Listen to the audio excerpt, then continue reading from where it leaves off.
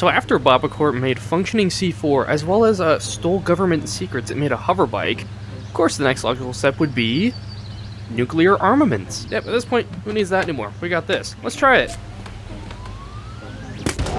Well, that's about what I expected. I'm Surprised there's no, like, ear-shattering noise, though. I always look forward to that. You know, whenever I pick one of these up, I'm always scared I'm gonna press right trigger and launch myself into the moon.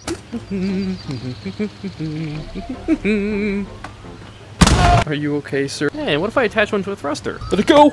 Oh no! I'll be right back.